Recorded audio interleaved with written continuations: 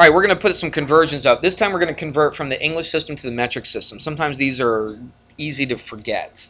All right, some of them are kind of easy, but some are easy to forget. Let's do inches, okay? So if we have one inch, that equals, now they just say 2.5. I always put 2.54 to be a little bit more specific, inches. All right, or sorry, centimeters. One inch is 2.54 centimeters. So if you have a ruler, a lot of rulers have both on it okay and if you look at it you find out where one inch is put a centimeter put a metric ruler up to it and it's 2.54 centimeters all right so that's one conversion let's do another one that's the one that I remember um, and you can you can convert almost anything in length just by knowing that one conversion right there. You can almost convert anything from English system to metric system in length.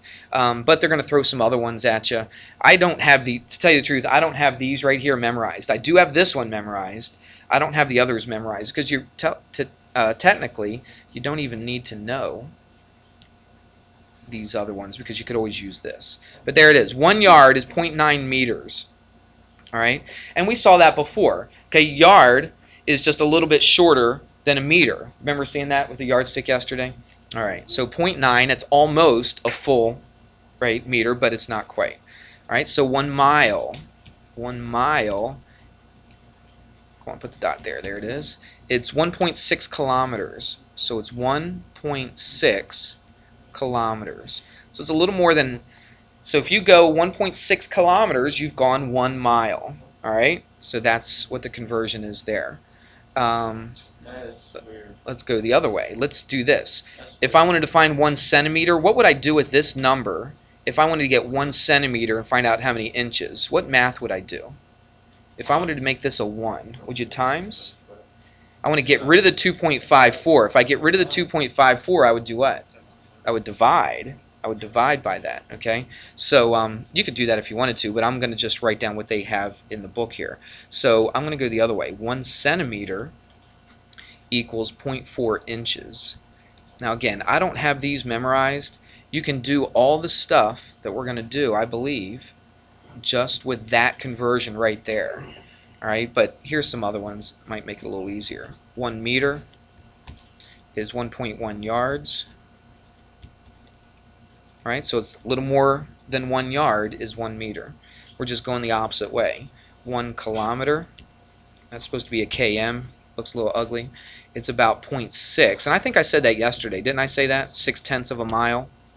One kilometer is about six tenths of a mile. So one kilometer is a little bit more than half a mile. So it's not exactly half a mile. It's a little bit more than half a mile. One kilometer. All right. So those are some things that we're going to use. Let's do a uh, let's do an example. So here's an example. Let's say I have 30 inches and I want to convert that to, I want to find out how many centimeters is 30 inches. Alright, so let's do it. So put 30 inches, put it over 1. This is what we did yesterday, isn't it? And then inches is on the top, we put inches on the bottom. Now look, we can go directly from inches to centimeters, can't we? So I'm going to put centimeters here. How many centimeters? 2.54. Right. Let's just go 2.5. That's what the book does. So to be consistent with the answers in the book, we'll forget the 4. Okay. So we'll just put 2.5 is 1 inch. Make sure these are equal to each other. Don't put 2.5 inches equals 1 centimeter. Okay. Because a centimeter is quite a bit smaller than an inch.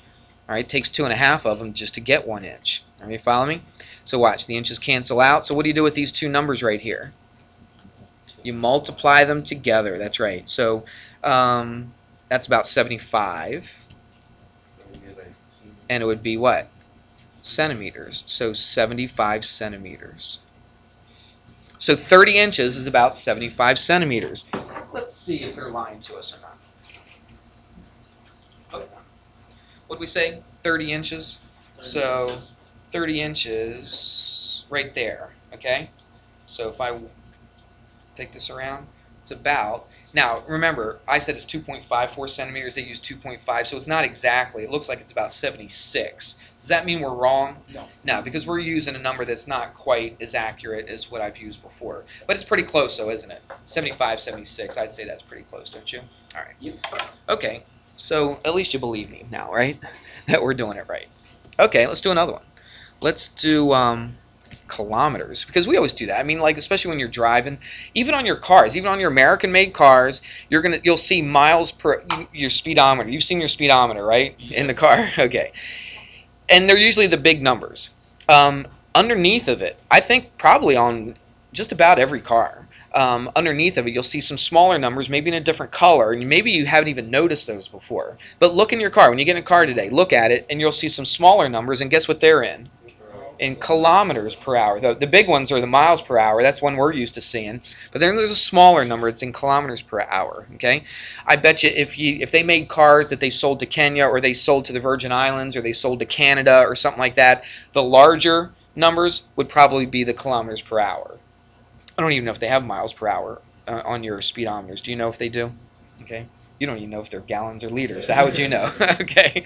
So um, let's uh, let's do this. Let's go from kilometers. So it's five kilometers, and we want to change that to miles. Okay, put a question mark right there. It's crazy question mark. Now we could look up here and just use the numbers here. That'd probably be the easiest way. We could also we could have taken kilometers, taken that down to centimeters, go from centimeter. I'm sorry, yeah, from centimeters, change centimeters to inches and then go from inches to miles. We could do that. But they've done a lot of the work for us already. We already have a conversion, don't we, between kilometers and miles. So let's just go ahead and use that. So I got 5 kilometers. Put it over 1.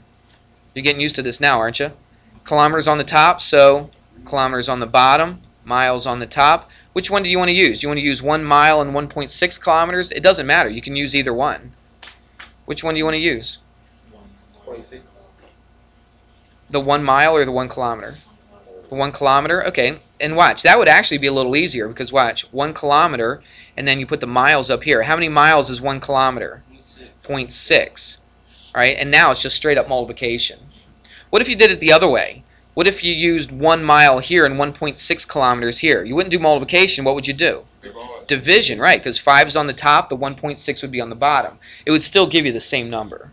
Okay? So now, that's pretty easy. So what is that? 5 times 6 is 30. Move the decimal to the left, so it's 3. 3 miles. It's pretty close. We talked about this the other day. Um, who ran in that Glasgow fiasco thing? I know soccer team, right? One. He's the only one that went to that thing. That was a 5K when the um, when the cross, who runs cross country? Anybody run cross country in here? You run cross country? Don't you run a 5K? Isn't that what it is? Yeah. So you run a 5K race, which is, it's not exactly three miles because these aren't exact numbers right here. It's about 3.1 miles. Is that what you tell people? Yeah. So uh, when the cross country does their race, they do about 3.1 miles, which is a 5K. So if you ever run a 5K, you're running just a little bit more than three miles. All right. So kind of gives you a frame of reference. All right. Does that make sense to you? All right, let's pause this. We'll get rid of this and we'll do, um, this is length. Okay, we could do more of this if we wanted to, but now we're going to go to something different. We'll go to volume or capacity. Resume. All that's not recorded, so. All right, let's do another one. One quart. Now, what are we doing? We're going from English to what? We're going to metric. So, what do you think we're going to measure in metric when we talk about volume? In what? We're going to use liters, right? Liters or milliliters. This time it's liters. So it's about, now I'd put equal signs here. Technically, they're approximately. How do we write approximate when we do math? Little squiggly, squiggly right. Little squiggly equal sign. So it's about point, uh, where's my thing right here? 0.9 liters. Okay, 0.9. And I like to write the lowercase for liters. So one quart. So if I get a quart of something, it's close to a liter, right? It's just um, one quart is just um, a little bit less than one full liter. Uh, let's see, here's another one. Let's do a pint. One pint. And that's about half a liter. It's about, it's not exactly, even though I put an equal sign. It's approximately half a liter. It's not exactly, but pretty close. Alright, so that's a pint of something. Uh, let's see. Let's do another one. Let's go the other direction. What if I wanted to go one liter? How could I always do this if I didn't want to memorize it? I could always take 1 and divide it by 0.9. So 1 divided by 0.9 would give me this. So it's about 1.1 quarts. So really, this second column right here is kind of, it, I wouldn't say it's useless, but you really don't need to know. Okay? Can you take notes on this? And let's do this. Let's do it in pints. So one liter. And so what would you do? You'd take the 0.5 and divide it. And again, it's not exactly 0.5, but they say it's about 2.1 pints. So if you divided 1 by 0.5, you would get exactly 2. But this really isn't exactly 0.5. So that's why you get the 2.1 right here. All right? So that's our conversions. Put that in a box or something in your notes. right, So that you know that it's important. All right, let's do one or two of these. So we're going to go 7 pints. I'm sorry, I lied. Shouldn't lie, I guess, should I? 7 quarts. And we want to find out how many liters that is. All right. All right, 7 quarts. So what do we do? We put 7 and we put quarts. We put it over 1 and we multiply it by a unit multiplier. Remember that phrase? Quarts on the top, quarts on the bottom.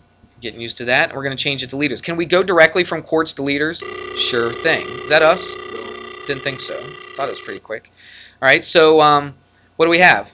0.9 liters, right? And 1 quart. Or you could have done it another way. How else could you have done it? You could have put 1 liter and then put what down here?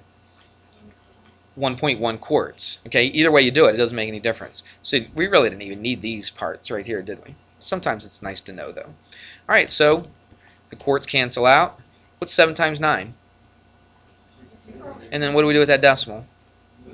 So what do we get? To the right? To the left. So it would be 6.3 what? Liters. All right? Look, remember, a liter is pretty close to a quart, isn't it? It's pretty close. Not quite. It's a little bit less. All right, so that's why we get 6.3 liters for 7 quarts of stuff. Make sense? All right. Let's do another uh, unit. We'll pause this. So I go past 15. All right, let's do another one. Let's go ounces. Let's do uh, mass or weight. Let's go one ounce. One ounce is about 28.3 grams. Again, I don't personally have these memorized, but write these down in your notes and you can always go back to them and look at them. All right. So one ounce is 28.3 grams. So grams are pretty small, aren't they? Right, because we talk about ounces a lot. You know, we got a 16 ounce, right? You get a big gulp. What is that, like 64 ounce? You know, at 7-Eleven or something like that. Um, one ounce, but 28.3 grams just to get one ounce. So grams are pretty small. And even on your everyday stuff, go buy a Pepsi or Coke. well, I guess Coke. We're a Coke school now, aren't we? Okay, buy a Coke and uh, look on the bottom of it. It tells you how many ounces, but it also tells you what? How many? Talk to me. Come on. How many grams? That's right. All right, so anyway, there we go. So um, let's do pounds now. One pound is approximately half a kilogram. Approximately. It's not exactly, but it's approximately half a kilogram. If we go the other way, one gram, that's approximately 0.04 ounces. And one kilogram, supposed to be a K, is 2.2 pounds. And we talked about that earlier, didn't we? All right, one kilogram is 2.2 pounds. That's one. That's the only one of these things right here that I have memorized. Because when you measure your weight, actually, like in uh, anybody watch World Cup soccer, uh, they talk about their weights and their heights and stuff. Their heights were usually measured in centimeters. Don't you guys measure your height in centimeters? Do you? Well, how do you measure your height? No, in Kenya. Like if I said, "How tall are you?" If I said, "How tall are you?" What would you say? Meters? You would do it in meters. So you're what, like two point something meters, or I don't know. oh, you don't even know what your height is? Okay. What would you say? You're a basketball player. You know your height. Right? In, even in the Virgin Islands, they say they measure it in feet. Okay. Um, but a lot of countries they'll measure it in um, in centimeters. Okay, and your weight in kilograms, which is kind of different for us. I only have 45 seconds left. I better hurry, right? So 58.5 kilograms, and I want to change that to pounds. All right, how do I do that? Well, 58.5 kilograms, I better hurry, times what? Kilograms down here, pounds up here. What do I put? You want to put, yeah, let's go 2.2 pounds is one kilogram. Multiply that together, and you get approximately 128.7 pounds. Oh, I got to stop. Everybody say bye to YouTube. Bye, YouTube. Okay.